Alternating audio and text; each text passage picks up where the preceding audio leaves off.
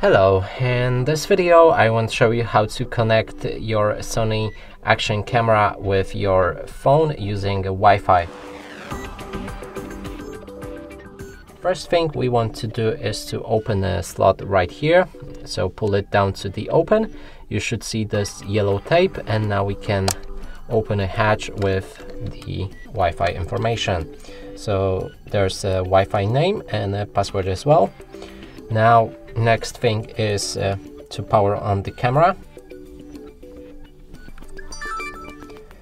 And if you bought it uh, from second hand or if it's factory new, I would recommend uh, anyway to click on the reset button on the bottom of your camera as well. There's this gap right here.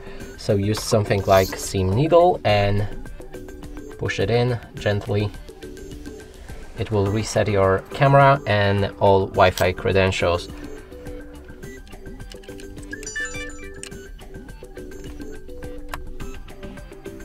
Now click on this Wi-Fi once and let's unlock our phone. Here refresh uh, available networks and find the camera in the networks. So here's mine. Click on it, then enter the Wi-Fi password from the bottom of the sticker right here.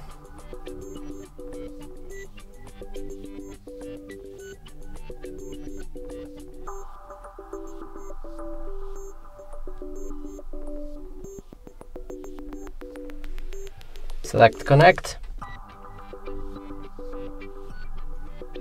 and if the password was right you should see something like this. There's no internet. Oh sorry.